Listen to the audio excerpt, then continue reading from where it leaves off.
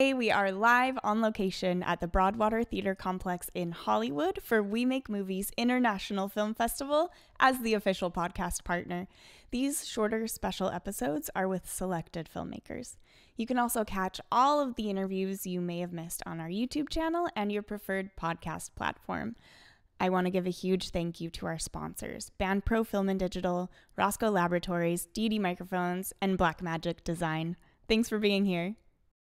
Whether you are talent or crew, finding the technical solutions to your problems is hard, and what's even harder is knowing where to go.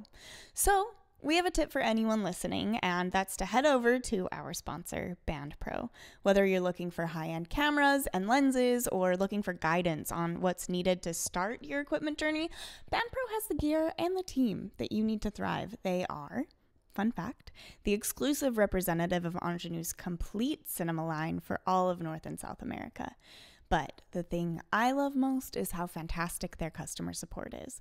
Not only do they have a great team to answer any product questions you might have, but they also have a talented team of in house technicians that you can actually talk to to get your equipment back up and running. So visit bandpro.com or meet them in person and make sure to say hi.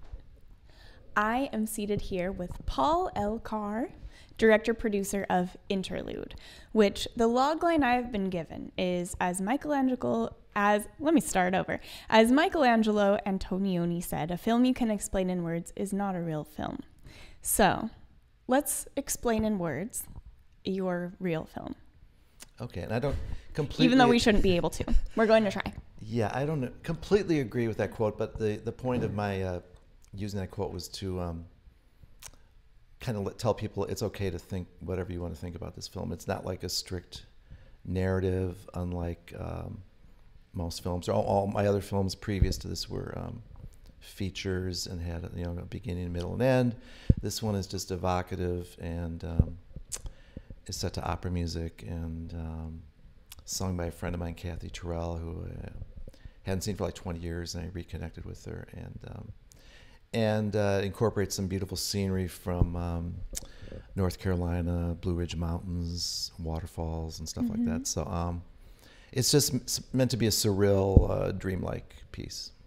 Wonderful art film. Yeah, art mm-hmm. film all the way.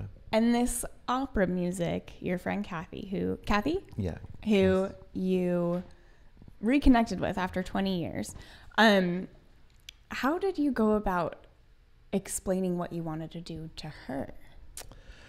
Well, she, you know, when I told her what the film was about, you know, kind of, I said it's not really about you, but it's kind of about you, and mm-hmm. it's uh, it's about life and death and mortality and art, and appreciate the moment, and and then I said, do you understand what I mean at all? And she says, I have no idea what the hell you're talking about. But uh, luckily, my my friend uh, Nick Schultz, who shot and edited the film, says, yeah, I think I think I see what you're going for. So you know, I needed a guy, a person with good interpretive powers that could kind of, you know, create something. Because mm-hmm. like I, I, picked up uh, or picked up pieces of her performances, and I would suggest I think this would be good or that would be good, or maybe we could use this here. But he really shaped it into. Um, a piece, and he actually he kind of broke into three movements, so it's kind of like a move, uh, a musical piece. Um, yeah, so it's like uh, I guess it was a a bit of a risk to do a film that doesn't really have a straight, you know, narrative story, but um, I still felt good about it that it would work out. Right. So. And it's for you first.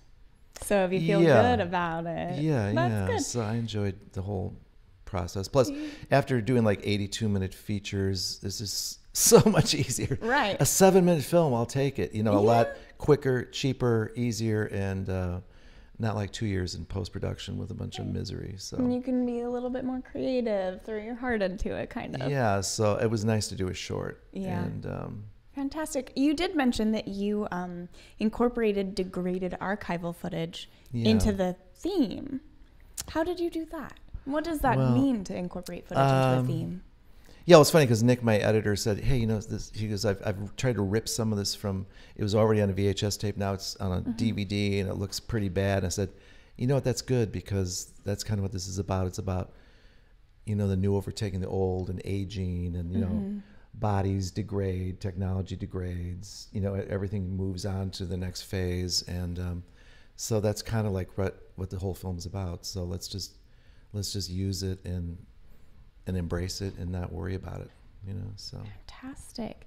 So did you incorporate any kind of talent into this besides the music? Uh, actually, no, it was really easy because I just had um, Kathy. Uh, she, you know, she acts in some scenes, but she really like she's just she's not even speaking. She's driving a car or whatever. Um, She's sitting by this st- stream in the mountains, and these flowers come floating by. Don't spoiler alert. but um, anyway, so there was there was no um, she didn't have to do any speaking, and um, so yeah, so I didn't. It, it was it was a nice short, tight crew. It was just four people, which was really great, and because you know less people, less likelihood of problems. You know. What's your favorite thing that you learned in doing something so different from what you normally do? Uh, just you know, if I have a hunch and I believe in it, just yeah, believe in it and just do it, and don't worry about you know the outcome. If somebody doesn't like it, that's okay. You know, Yeah. you know, I don't I don't make it to try to please everybody, and um, but I felt confident that at least some people would get something from it and get some enjoyment out of it. So it worked for me at least. You know, That's great. so yeah. Well, there you have it. Make your art for you, and some people will like it, and hopefully lots of people like it. Paul Carr, everybody, thank you very much. Thanks. Interlude screens tonight Yeah. at 9:45 p.m. Thanks, Paul. Thank you. Bye, everyone. Thank you so much for joining us for this interview. As a thank you, CFA has partnered with We Make Movies to get you discounted production management services, including production insurance. For that, go to wemakemovies.org slash insurance and enter code CFA23 in the intake form to get 10% off your quote. Also, we have partnered with We Audition to get you a 25% discount on your membership. Join We Audition at weaudition.com and use CFA25. Make sure you're following the CFA podcast wherever you listen to stay up to date on discounts, events, and new episodes. Thanks for joining us.